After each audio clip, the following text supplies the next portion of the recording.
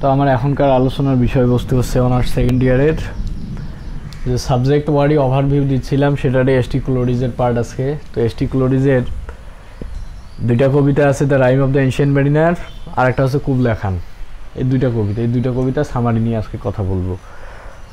তো ST ক্লোরিজ romantic এজের একজন কবি, এটা রোমান্টিক পোয়েট্রিতে আওতাভুক্ত করা হয়েছে এসটি ক্লোরিজকে তো যাই হোক এসটি ক্লোরিজ আর ওয়াটসওয়াতের লিরিক্যাল ব্যালার্স সতেরোশো আটানব্বই সালে পাবলিশের মধ্য দিয়ে একটা নতুন যুগের সূচনা হয়, সেটা হচ্ছে রোমান্টিক এজ তো সেই রোমান্টিক যে ফিচার্সগুলো আছে বা রোমান্টিসিজমের যে ফিচার্সগুলো আছে, এগুলা এসটি ক্লোরিজের কবিতা ওয়াটসওয়াতের কবিতা এবং ওই সময়ে যত কবি আছে তাদের কবিতাগুলোর মধ্যে এগুলো আমরা দেখতে পাবো, বৈশিষ্ট্যগুলো পাবো আমরা।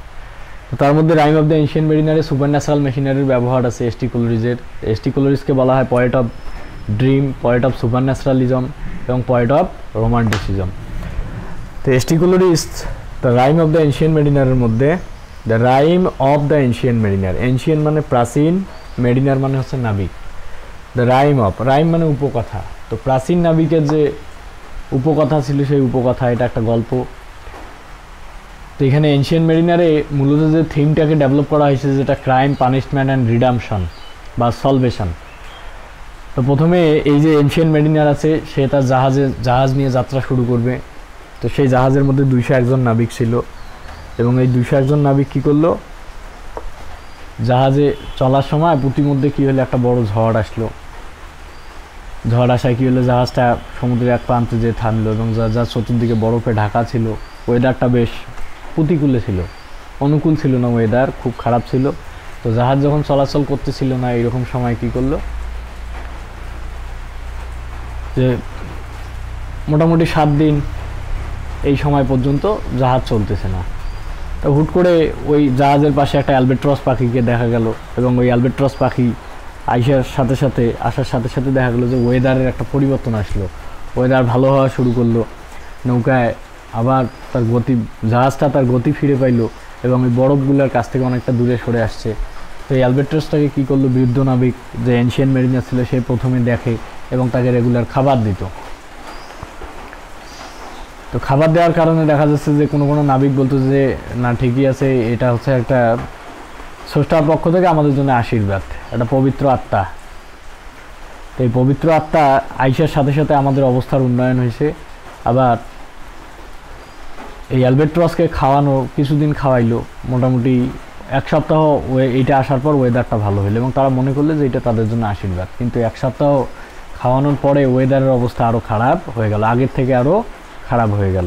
তো এইরকম সময় কিছু কিছু নাবিক বলতে থাকল যে, এই এনশিয়ান মেরিনার যে অ্যালবেট্রসকে জায়গা দিচ্ছে এটা আসলে অভিশপ্ত আত্মা, এটা কোনো পবিত্র আত্মা নয়, এটার কারণে আমাদের এই অবস্থা তো অনেকে ব্লেম দেওয়া শুরু করল এনশিয়ান মেরিনারকে পরে এনশিয়ান মেরিনার কী করল? রাগে এই অ্যালবেট্রস পাখিটাকে গুলি করল। এবং এ যে জায়গা দিছিল এই অ্যালবেট্রসকে শাস্তি হিসেবে কী করল? এই যে মৃত অ্যালবেট্রস পাখিটাকে এনশিয়ান মেরিনারের গলায় ঝুলাই দিল বাকি নাবিকরা। তো যাই হোক, এইরকম একটা পরিস্থিতিতে এই যে এখানকার যে ক্রাইমটা এনশিয়ান মেরিনার অলরেডি করে ফেলছে ক্রাইমটা হচ্ছে কি? যে অ্যালবেট্রসটাকে কোনো কারণ ছাড়াই হত্যা করা, এটা হচ্ছে এই গল্পের ক্রাইম তো এইটার কারণে পরবর্তীতে দেখা গেলো যে ওয়েদারের অবস্থা আরও খারাপ হয়ে গেল। আস্তে আস্তে জাহাজের খাদ্যদ্রব্য শেষ হয়ে গেল এবং যে নাবিকরা আছে তারা মোটামুটি আস্তে আস্তে মারা যাওয়া শুরু করল। তো ঠিক এই সময়টাতে দেখা গেল যে বিভিন্ন super natural machineries ST Coleridge যে কবিতার মধ্যে নিয়ে আসছে এবং সে দেখল একটা নৌকার মধ্যে দুইটা সৌলকে দিয়ে পাঠানো হয়েছে। একটা নৌকা দূর থেকে আসতেছিল। তো এরা তো হেল্প চাচ্ছিল গলা দিয়ে কোনো আওয়াজ বের হচ্ছিল না, তাদের শুষ্ক গলায় তারা ওই নৌকাটাকে ডাকছিল এবং দেখল যে নৌকাটা তাদের দিকেই আসতেছে এবং আসার সময় তারা নৌকাটা যখন পাশ দিয়ে যাচ্ছিল তখন তারা শুনলো যে দুইজন মিলে পাশা খেলতেছে গ্যামলিং করতেছে, বাজি বেড ধরতেছে যে এনশিয়ান মেডিনার যে ক্রাইমটা করছে, তার যে সে ক্রাইম অফেন্সটা আছে, সেই অফেন্সটা অফেন্সটার কারণে এনশিয়ান মেরিনার ভোগান্তিতে ভুগবে, খুব খুব ভুগবে সে। তো এরকম অবস্থায় তারা পাশা খেললো এবং বাজি ধরলো এনশিয়ান মেরিনারকে। তো ওই নৌকার মধ্যে দুইটা সোল ছিল, একটা হচ্ছে লাইভ আর একটা লাইভ ইন ডেথ একটা হচ্ছে ডেথ এক পাশে ছিল মৃত্যু আর এক পাশে লাইফ ইন ডেথ তো মৃত্যু মানে কি? এনশিয়ান মেরিনার বাজি ধরলো এনশিয়ান মেরিনারকে। যে জিতবে সে এনশিয়ান মেরিনারকে নিয়ে যাবে। যদি মৃত্যু যেতে তাহলে এনশিয়ান মেরিনার মারা যাবে, আর বাকি দুইশো জন যে আছে এরা বেঁচে যাবে। আর লাইফ ইন ডেথ বলল, আমি যদি খেলায় জিততে পারি, তাহলে এনশিয়ান মেরিনার বাঁচবে বা লাইফ ইন ডেথ মানে কি? জীবন মৃত অবস্থা। মানে বেঁচে থাকতেও সে মৃতের মতো বেঁচে থাকবে। আর বাকি দুশো জনকে ডেথ নিয়ে যাবে। এভাবে তারা ব্যাটিং করল এবং খেলায় লাইফ ইন ডেথ জিতলো। তো লাইফ ইন ডেথ জেতার কারণে কি হলো লাইফ ইন ডেথ শুধু এনশিয়ান মেরিনারকে বাঁচায় রাখল আর বাকি যে দুইশো জন নাবিক এদেরকে মেরে ফেলল। তো এরা একে একের পর এক মারা গেল। মারা যাওয়ার পর দুইশোটা ডেড বডি ওই জাহাজের মধ্যে পড়ে আছে আর বেঁচে আছে একা ওই গলার মধ্যে এনশে অ্যালবেট্রসটাকে ঝুলাই নিয়ে এনশিয়ান মেরিনার সে চতুর্দিকে দিশেহারা হয়ে পড়ল এবং তার ক্রমেই অবস্থার খারাপ হতে থাকল। শারীরিক শারীরিক অবস্থা, মানসিক অবস্থা দুইটাই যে আসলে আমি কি করলে আমার কি হচ্ছে আমার সাথে এটা এই মাছ সমুদ্রের মধ্যে। কেউ আমাকে বাসায় রেস্কিউও করতেছে না, আবার কারও সন্ধানও আমি পাচ্ছি না। তো যাই হোক, এইরকম একটা অবস্থার মধ্যে আরও একদিন হুট করে এনশিয়ান মেরিনার আর একটা নৌকা দেখতে পাইলো, যে নৌকার মধ্যে আরও দুইটা সোল ছিল। যে সোল দুইটা গল্প করতে করতে যাচ্ছিল যে আসলে এই সেই এনশিয়ান মেরিনার যে বিনা কারণে অ্যালবেট্রসটাকে হত্যা করেছিল। এবং পাশের যে সোল ছিল বসা, সে বলল যে বিনিময়ে এ- যে ক্রাইমটা করছে, তার বিনিময়ে সে যথেষ্ট শাস্তিও পাইছে। তো এভাবে বলতে বলতে চলে গেল এনশিয়ান মেরিনার তো যাই হোক এনশিয়ান মেরিনার ক্ষুদা তৃষ্ণায় তার বুকটা ফেটে যাচ্ছিল। তো যখন ওই নৌকাটাকে ডাকবে, সে কী করল? মৃত যে ডেড বডিগুলো ছিল, সেই ডেড বডিগুলায় পা, হাত বিভিন্ন জায়গায় কামড় দিয়ে রক্ত বের করল। রক্ত বের করে গলাটা ভিজায় নিয়ে নৌকাকে ডাকতে থাকল। মানে খুবই হরিবল একটা সিন তো এরপরে কী হলো? এনশিয়ান মেরিনার একদিন যে ক্ষুদায় ক্লান্তিতে সে ঘুমিয়ে পড়ল এবং ঘুম থেকে ওঠার পর দেখল যে ওয়েদার অনেকটা সতেজ মানে বৃষ্টি হয়েছিল।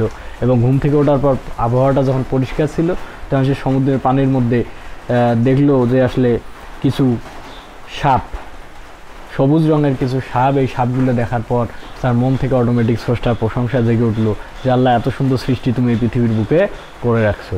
তো এই প্রশংসা করার কারণে দেখা গেল যে তার মন থেকে একটা প্রার্থনার ভাব চলে আসলো এবং আল্লাহর কাছে সে প্রার্থনা করল। তো যখনই প্রার্থনা করল, তখনই কি অ্যালবেট্রসটা তার নিজের যে শরীর থেকে এটাতে গলা থেকে খুলে পড়ল মানে কি তার যে সাফারিংসটা আছে এই সাফারিংসটার মোটামুটি সমাপ্তি আসলো এবং অ্যালবেট্রসটা খুলে গেল। তারপরে কি হলো এনশিয়ান মেরিনার নিজেকে একটু টাটকা ফিল করতেছিল কারণ বৃষ্টি হয়েছে তার পিপাসাটাও অনেকটা মিটে গেছে। তারপরে এনশিয়ান মেরিনার নিজের জাহাজটাকে সামনের দিকে আগানোর চেষ্টা করল এবং সে যখন আগানোর চেষ্টা করতেছিল, দেখল যে বাকি যে দুইশো জন নাবিক আছে ডেড ডেড মৃত যে নাবিকজন, এরা আবার উঠে দাঁড়াইছে। এবং তারা নৌকাটাকে সামনের দিকে এগিয়ে নিয়ে যাচ্ছে। এবং যখন এগিয়ে নিয়ে যাচ্ছিল, তখন এনশিয়ান মেরিনার লক্ষ্য করল যে প্রত্যেকটা ডেড বডির সামনে একটা করে অ্যাঞ্জেল দাঁড়াইছিল। ফেরেস্তা দাঁড়াইছিল যারা কী করতেছে নৌকাটাকে আগিয়ে নেওয়ার কাজ করতেছে। মানে কি, আল্লাহর রহমত এখন তার উপর বর্ষিত হচ্ছে। তো তার সাফারিংসের দিনগুলো শেষ হয়ে যাচ্ছে। তো মোটামুটি নৌকাটা একটা তীরে যখন পৌঁছাচ্ছিল, তখন দেখল যে প্রচণ্ড রকমের একটা ঝড় আসতেছিল। এই ঝড়ে আবার পাশেই আরেকটা জাহাজকে দেখতে পাইলো। তো এই জাহাজের সে খুব ডাক হাক করা শুরু করল যে আমাকে এখান থেকে নিয়ে যান, আমার জাহাজটা অনেকদিন ধরে সমুদ্রে ভেঙে যাবে। তো এইরকম অবস্থায় সে কী করল, ওই জাহাজটা, সমুদ্রের ঢেউটা যখন আসলে জাহাজের মধ্যে পড়ল, তো এই বাকি যে দুশো জন নাবিকেরা আবার তাদের জায়গায় শুয়ে গেল এবং এনশিয়ান মেরিনার কীভাবে যে এই জাহাজ থেকে ওই জাহাজে গেল সেটা সে বুঝতেও পারল না এবং এনশিয়ান মেরিনার ওই জাহাজের মধ্যে যেয়ে দেখল ওখানে তিনজন মানুষ ছিল। একজন নাবিক, নাবিকের ওয়াইফ আর একজন হচ্ছে ধর্মযাজক। সে তখন ওই ধর্মযাজককে বলল যে, আপনি আমার জন্য একটু প্রার্থনা করে দেন, আমার অন্তরটা কলুষিত হয়ে গেছে, আমি পাপ করছি, এই পাপের প্রাশ্চিত্য আমাকে করায় দেন।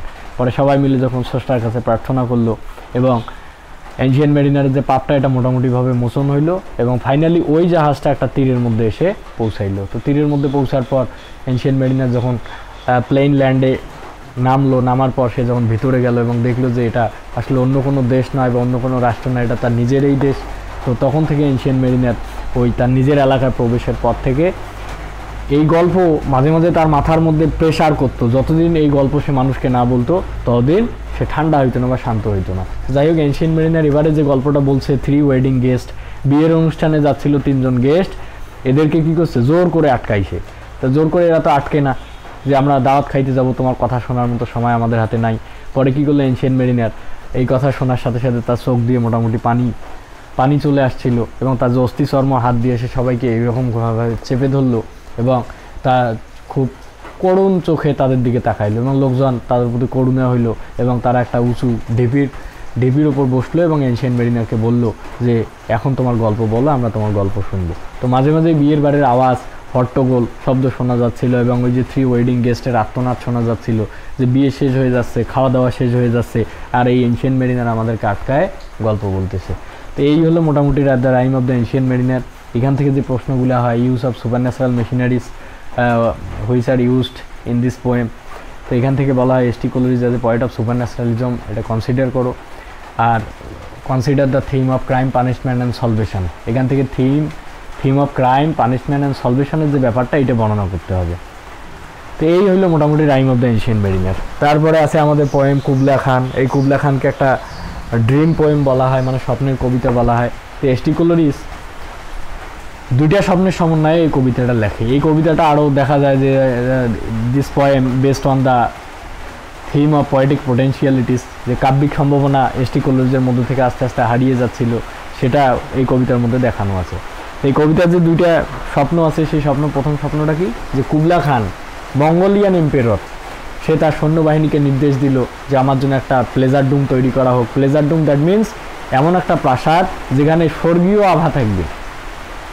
এত বেশি সুখ থাকবে এবং তার সারাউন্ডিংসটা টেন মাইলস পরিব্যাপ্তি হবে, চতুর্দিকে দশ মাইল দশ মাইল পূর্ব, পশ্চিম, উত্তর, দক্ষিণ সব দিকে দশ মাইল এবং ফুলের বাগান থাকবে, বড় বড় বাগান, গাছের বাগান থাকবে, ফলের গাছ।